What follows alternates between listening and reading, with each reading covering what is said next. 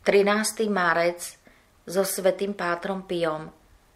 Nechaj sa lásky plne viesť Božou prozretelnosťou, či už bude od teba chcieť, aby si kračala po zemi a cez púšte, alebo po vodách, zmyslových a duchovných útech.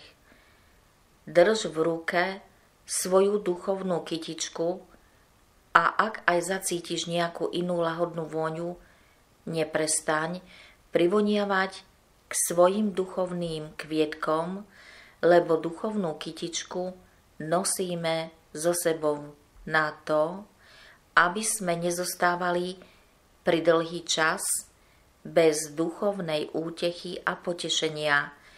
Nech by sa Ježišovi zapáčilo uviesť do akéhokoľvek rozpoloženia, skalopevne vytrvaj, aby celé tvoje srdce patrilo len jemu, pretože pre teba niet lepšej veci než toto.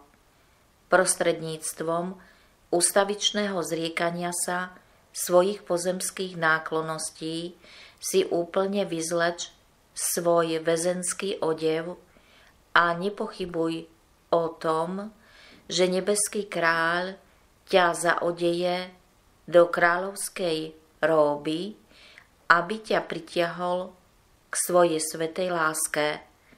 V tvojom srdci vidím skalopevné odhodlanie slúžiť Bohu, čo ma uistuje o tom, že sa bude všemožne usilovať, aby si pomocou vernosti v praktizovaní svetých pobožností a plnení si každodenných povinností nadobudla celú plejadu čností.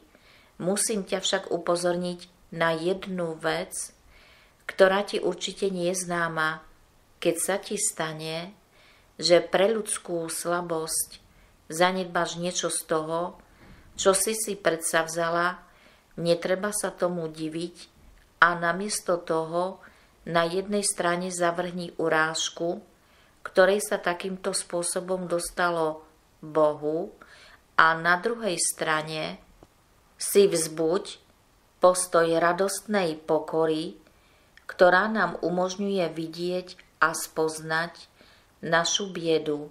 List z 12. januára 1917 adresovaný Erminii Garganiovej, korešpondencia zväzok 3, strana 669. Amen.